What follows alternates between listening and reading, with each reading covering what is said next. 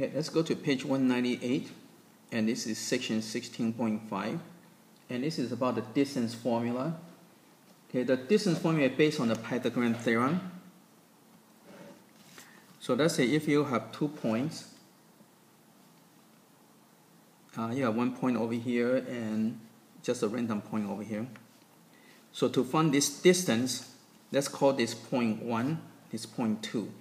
So that means this has the coordinate of x1, y1. And this would be x2, y2. Now to figure out this distance, you use a Pythagorean theorem. Okay, so this would be like your C. Okay, so this side, so again, the Pythagorean theorem is a squared plus b squared equal to c squared, right? Okay, so that's um, so that's going to call this um, that's going to call this A, B, C. Okay? So to figure out the A score, to figure out the A, A is from here to here. So if you go straight down, here is your x2. Right? So if you just look at x, so here's your x1, here's your x2.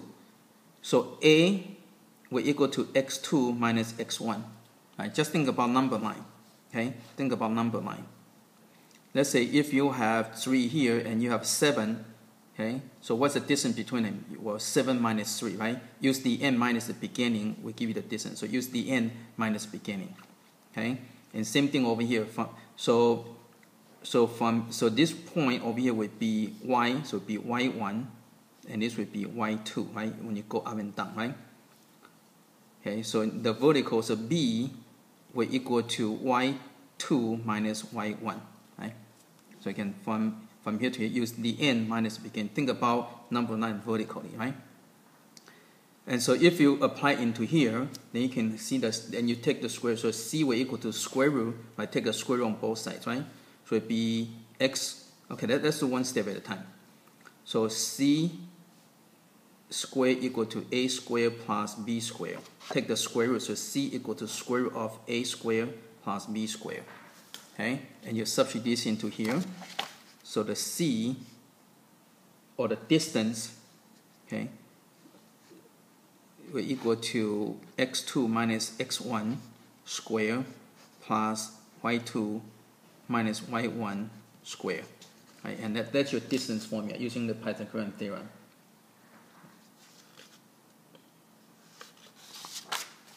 Okay. Let's go to example 16-8.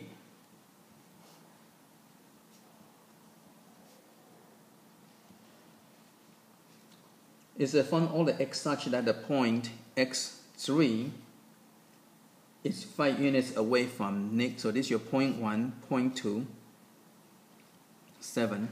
Okay? So the distance, the, the distance between the two distance is equal to 5. Okay, so again, to solve for x, you just go and use the distance formula, right?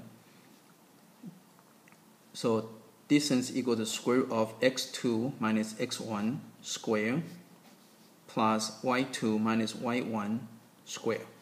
So substituting here, so you got 5 equal to square root of, so that's your x1, so that's your x2, x1, right? So it'd be negative 1 minus x square plus 7 minus 3 square, right?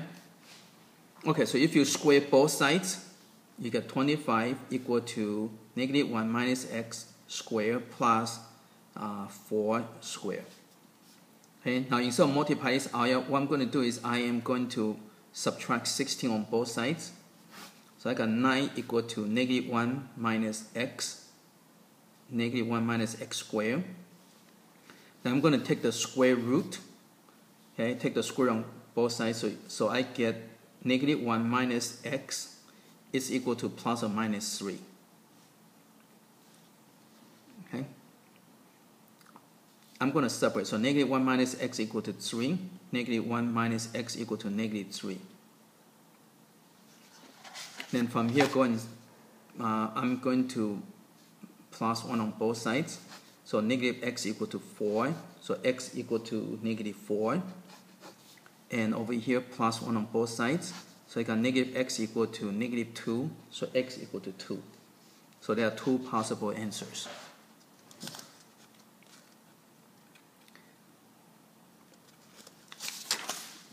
Okay, let's go to example 16-9.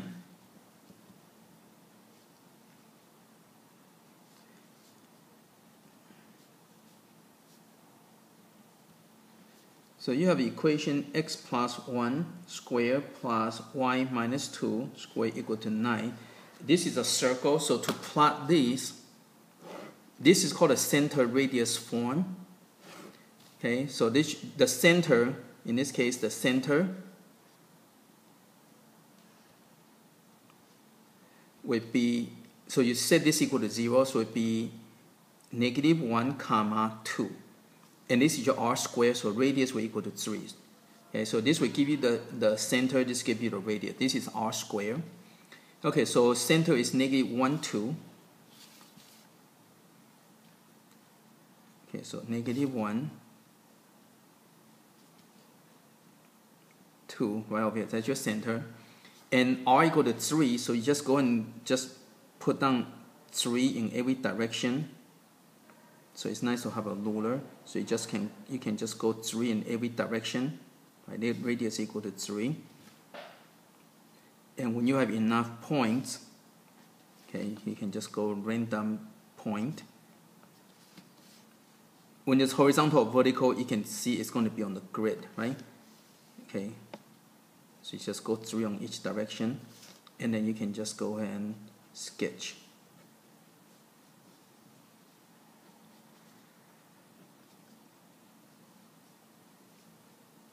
Okay, so that's how you plot a circle. Okay.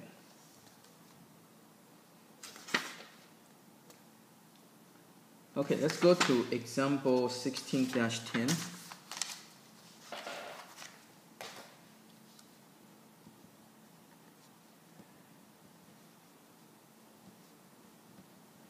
It says find the center and radius of the circle described by 2x squared plus 2y squared plus ax minus 12y plus 3 equal to 0. Okay, so to find the, uh, the center and the radius, you need to uh, complete a square on this side, uh, on this equation. Now to complete the square, uh, first let's go and vacate this number, so minus 3 on both sides. So you get 2x squared and, okay, plus 2y squared plus ax minus 12y equal to negative 3. The next, since all these are even, so we can divide by 2 to get rid of each, uh, to, to lower the number. And I'm going to group them together already. So you got x squared, so this cancel out. And this will give you give me plus 4x. Keep a space, okay? Plus y squared minus 6y. Leave a space, so negative 3 over 2. Okay, now to complete a square, we need to go and make into a perfect square. So from this I get this. From this I get uh, plus 2 because in order to get the middle term of this will be always 2 times this, right? So 2 times 2 give you 4 times x give you that, right? So from here give you that, okay? So again, in order to get 4x, you need to have a plus 2 here to get the 4x. Now, but if you have plus 2 over here, you're missing a number over here. So this one, what you need to do is you need to have a plus 4, okay? Now, because you plus 4 over here on this side, you need to plus 4 over here. You have to do exactly same. That's what equal means. Okay. And then after that, this is same thing. Okay. To get negative, to get negative 6y, you need to get minus 3. Okay. So you need to minus 3 to get this minus 6y. But to get minus 3 here, you're going to have a plus 9. Okay. And if you plus 9, you need to get plus 9 over here. Okay and then this will equal to now you have to add all this together. Uh, 20, so you get 23 over 2 okay you add it together you get that. So now your center is going to be at negative 2 comma 3 right? This gives you the center. You just set this equal to 0 and you solve Okay, and this is the r square.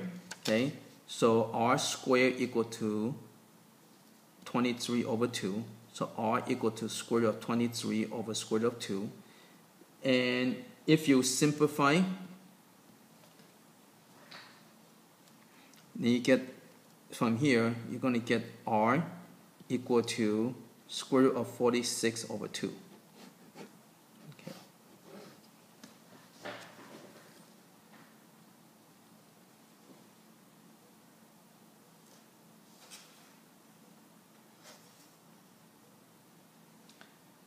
Okay, let's go to example 11, uh, 6. Okay, uh, oh no, this is it.